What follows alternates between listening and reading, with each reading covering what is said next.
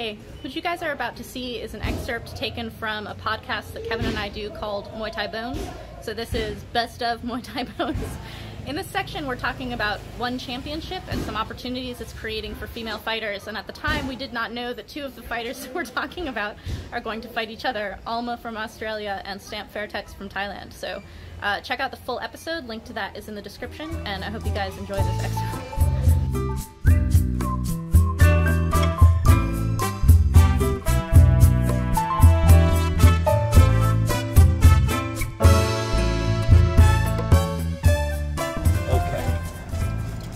Maybe the final segment, we never really know.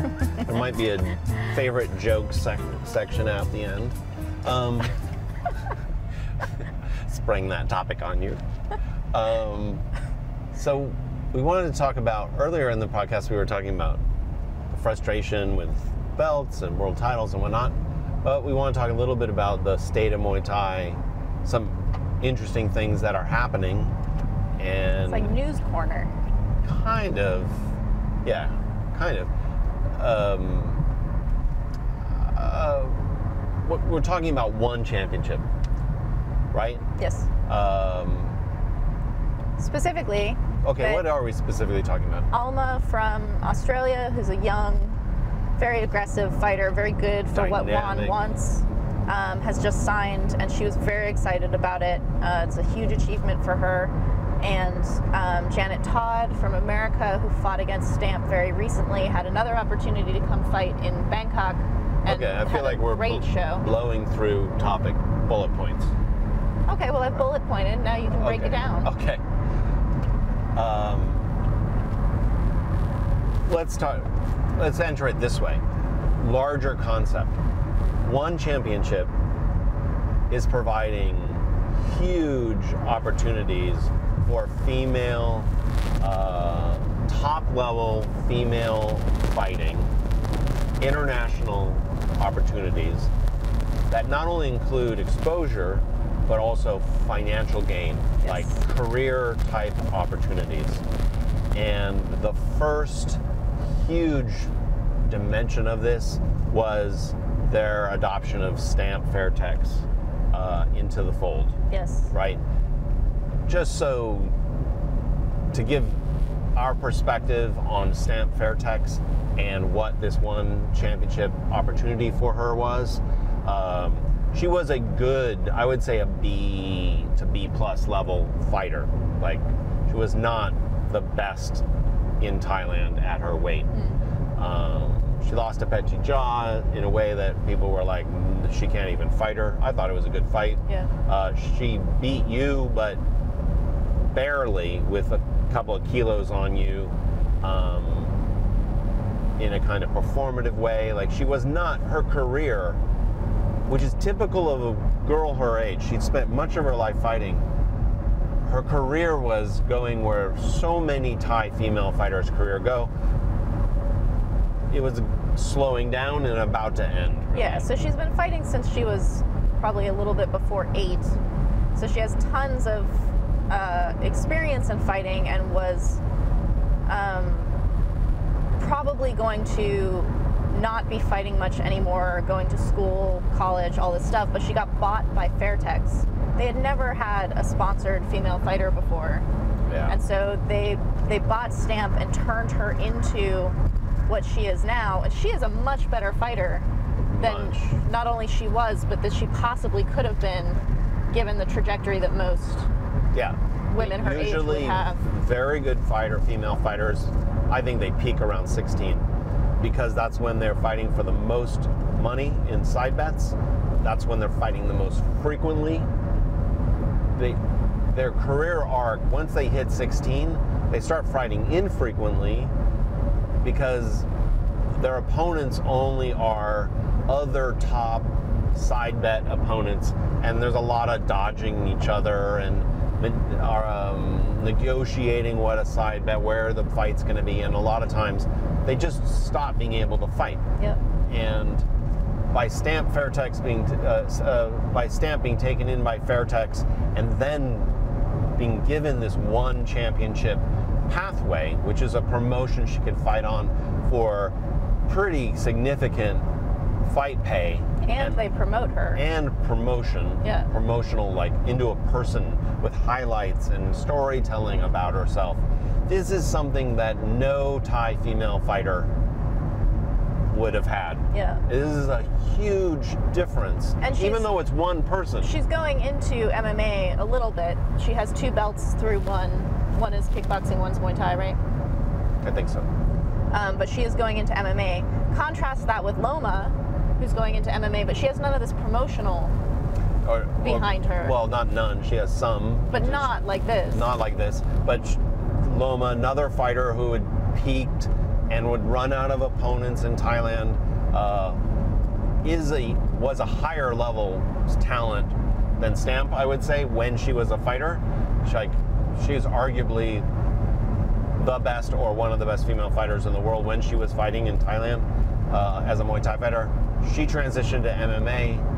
Invicta, I guess she's pursuing this kind of MMA career, which also is an an interesting, viable career extension for top female fighters. Yeah. But we're talking about Muay Thai um, extension of a career, and if you compare the promotional uh, pictures building around the careers of both of them, you can see that Stamp, at least from our our corner of the world, what one is doing is kind of amazing. Yeah. What's happening with Stamp, and not to even denigrate what's happening with Loma, uh, that's its own path as well. It's more let's like let's talk about what's going on with one championship. Like, so an additional story. So that's one great story, right? I don't know how many Thai female fighters are going to be pulled over to one. I know that Cherry Sityodtong, who was not a, an elite fighter, except when she was maybe 14, she was pretty good. Uh, she was training over there. She was going to be part of the promotion, but not a lot has come of it. But maybe other Thai females will be pulled into the money and into the process. But Janet Todd uh, of the United States was flown in to fight Stamp and had a great fight against Stamp. Stamp won. Stamp, if she's going to be a like signature fighter, she needs great opponents. Yep. And Janet Todd went over there and fought and gave her all she could handle. Stamp pulled out the fight in a really, uh, to me, in a way that impressed me about Stamp's skill and let me know how much she's progressed as a fighter since we knew her as a Thai fighter. Like the whole Fairtex thing has really elevated her um, on many levels, not just technically, but also confidence wise and her aggression in space. But this is really interesting things. Janet Todd, we were like, she had just turned pro, I don't know, a year ago or something like that. She had a long time amateur fighter with lots of success. And when she turned pro, we were like, what is going to happen? Because we've For seen her. this story before, because the scene in America is so Well, what's the story? inconsistent. Amy Davis. No, but what, what the is story, the story? The story being good female fighters who are amateur turn pro and have no opponents. Like turning pro as a woman in the West can Kills be, your career. It can be crazy because you have no other pros. You're you're going into a tiny, tiny pool.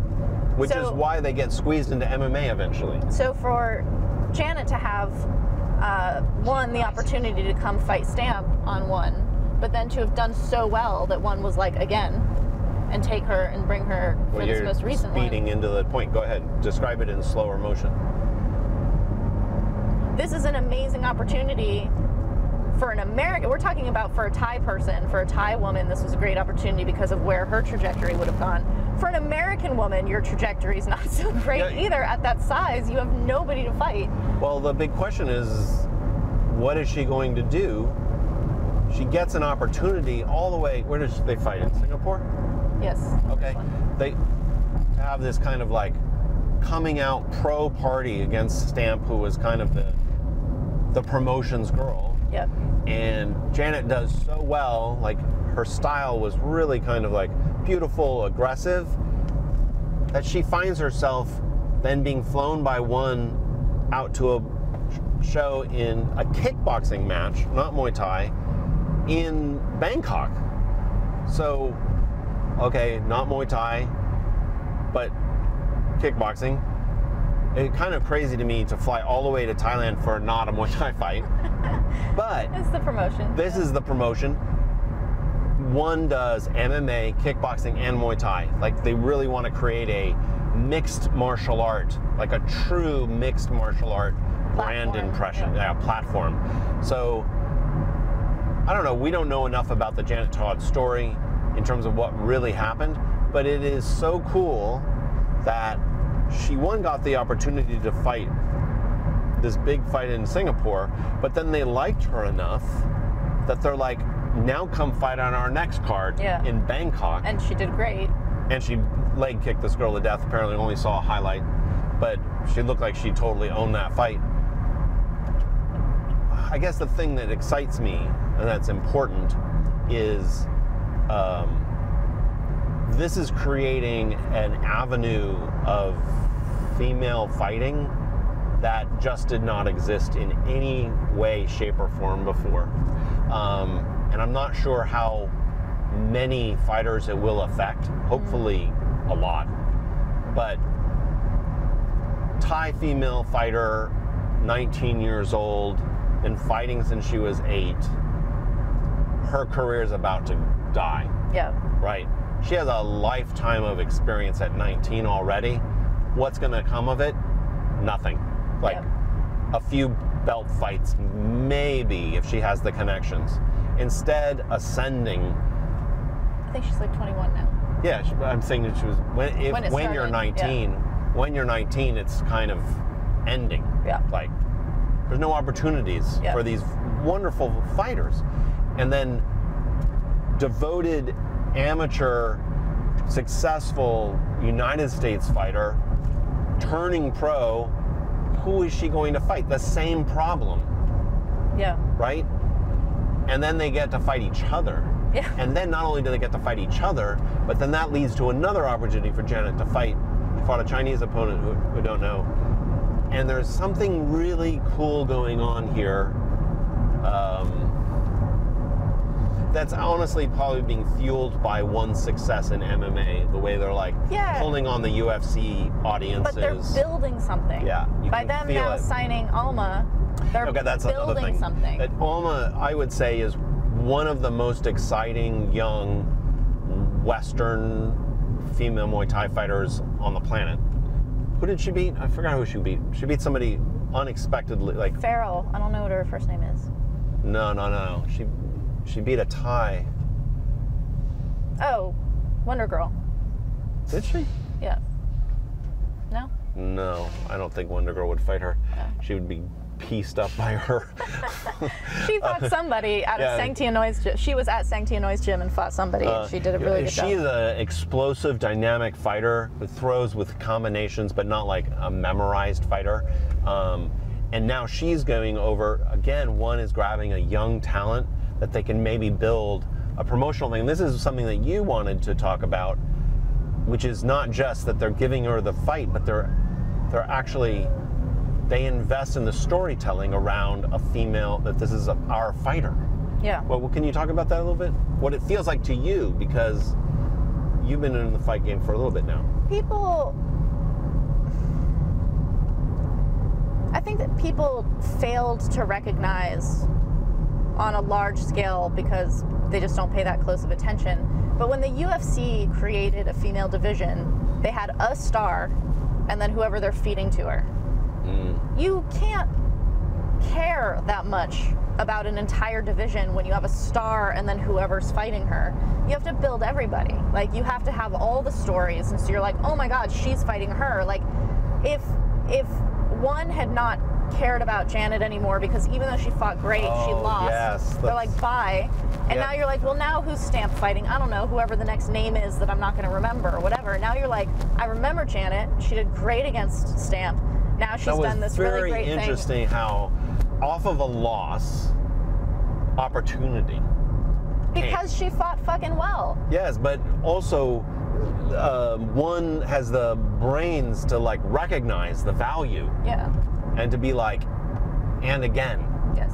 like that is unusual in female promotions.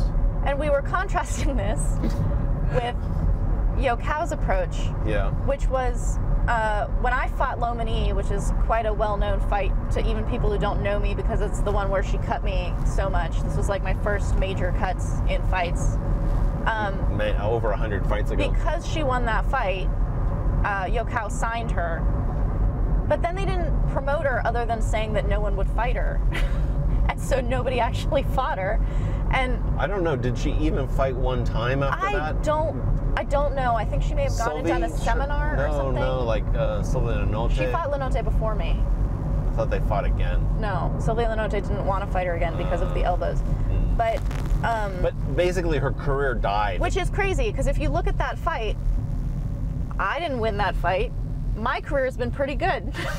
her career has gone way down totally. And because of how they don't promote her, because of the way that they just. not only do they not promote her, but they don't promote anybody around Yeah. her. Yeah. Like, there's no. And the same thing happened with Amy Like, who's Pier- gonna watch a fight if you're like, our amazing fighter, she's gonna walk through this opponent? You're not gonna watch that. You're like, our amazing fighter is gonna fight this amazing fighter. And like, Totally, "That's and the same thing kind of happened with Amy Pierney.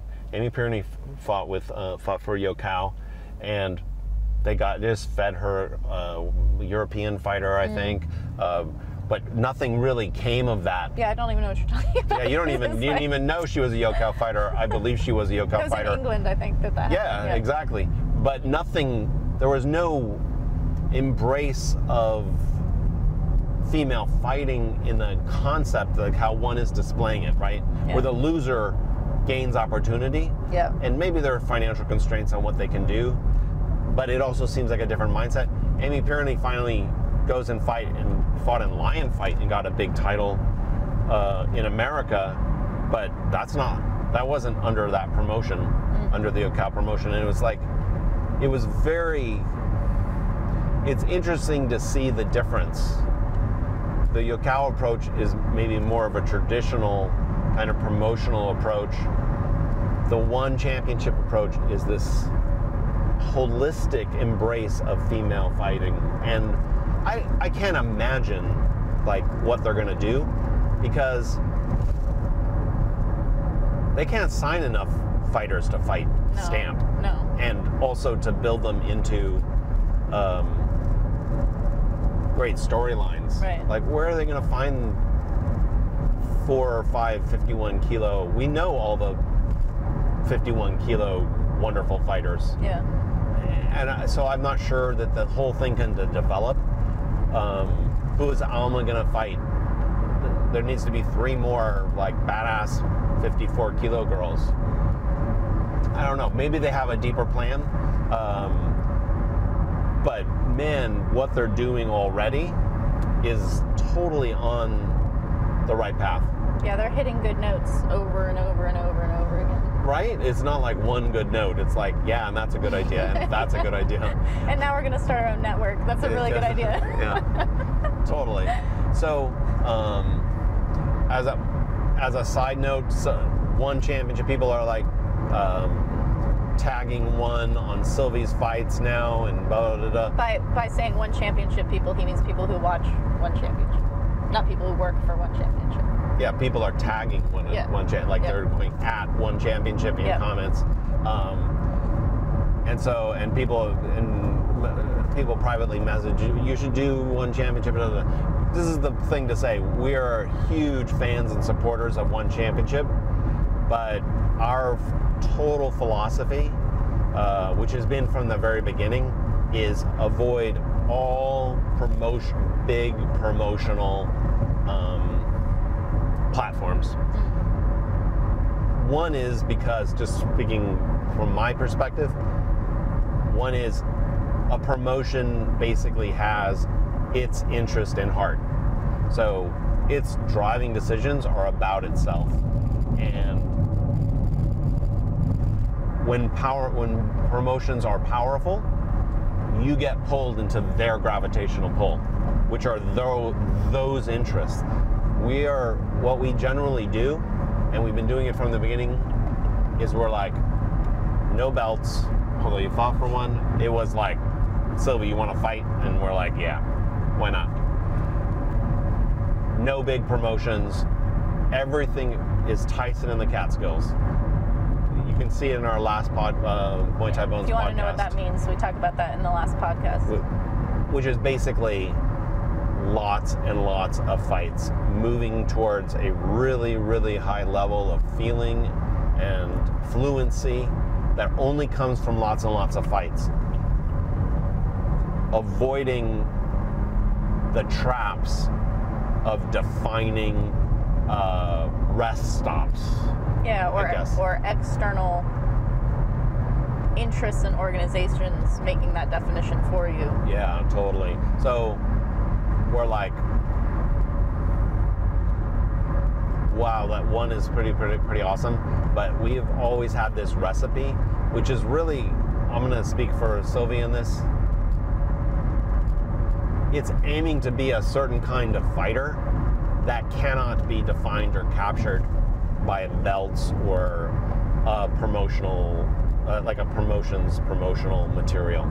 Like the the competence you are pursuing in clinch fighting is to me off the charts. Like it's never been done, never been attempted by a female fighter, maybe not even a male fighter, because of the the kinds of influences you can have uh, from all the legends that you are training with, and not even also unknown gem krus of the library. And I'm like, there's something so satisfying on the ultra that you're running and people are like, "Why don't you run in this hundred-yard dash?" and I'm like, and we're like, I'm like doing Badwater on my own with no real Totally. start finish line organization. Totally, They're and- like, go do the Boston Marathon. and no, it's a hundred-yard dash, and you're like, okay, if you can organize the hundred-yard dash so it's in the Badlands Ultra, like this hundred yards. then, then yes, I will run Then I'll that. do that one. I'll run that hundred yard Give me a bib. But I'm, but I'm gonna keep running after the hundredth yard, right? Is it not like that? I remember that. Like was like um, you fought some uh, Western fighter, and it was just like, yeah, we'll throw that in on two days' notice or five days' notice or whatever, and then I'm. I, all I don't, all I want is to not get cut, so I can fight three days later. And it was like, people are just not con have no are not used to the concept of thinking of fights in threes and fives and like this kind of throwing yourself forward. Like people are like well Sylvia when are you going to retire and teach people? And you're like i'm thinking of 10 more years. I'm not even halfway in my fight total. Like these are these Yeah. are perspectives that And just people don't have If you want to check my inbox and see how many people write to me telling me what they've learned, I am teaching people currently. that, I don't, I don't gotta stop to teach anybody. That is true. That is so true. I'm gonna true. keep running. That is so true. so, I don't know. I'm. I have to say, I'm impressed by the Alma signing. It means that they're just really reaching out. I don't think Alma can get down to. No, uh, she's her. She's a different division. They created a division. Well, it's, she's a different weight. Yeah, but I don't know. Maybe Stamp will fight up, and sh- Alma will fight down. I don't know how far down Alma can go. I don't Uh, know. is she 54? I think 53 something. Is what she Mm. I don't think that far. I mean, if Stamp's 51, I don't know. Either that's another family of of opponents they have to grow, or they're trying to bridge together. But they have two exciting, three with Janet. There's three exciting um, fighters, female fighters that are kind of like active, aggressive combination fighters, which will sell to a mixed martial art audience. Yeah, and it's it moves. Like does they have mean? different locations. Yeah, totally. It's cool. Okay, so what else can we? We're gonna wrap this up. What? What we were going to a favorite joke section? Is that what we were doing? Do you have one, honey? Best of Muay Thai Bones. Uh, Kevin and I talk about all kinds of things having to do with Muay Thai in our podcast. So definitely check out the full episode. And these episodes and podcasts are free, but they are made possible through the support of my patrons. So if you would like to become a patron and support projects like this, check out the link in the description.